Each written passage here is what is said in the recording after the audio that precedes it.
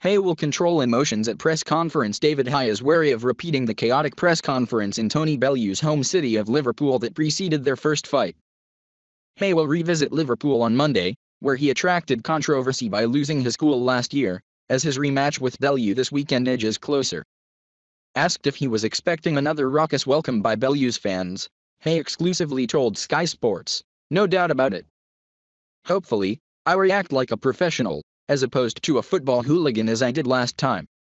Last time was entertaining. Last time, I wasn't the most pleasant to the guys who were screaming abuse me. Haye believes the fiery atmosphere on his last visit to Liverpool mirrored the fight, in which he injured his Achilles en route to a stoppage defeat. It did, it really did.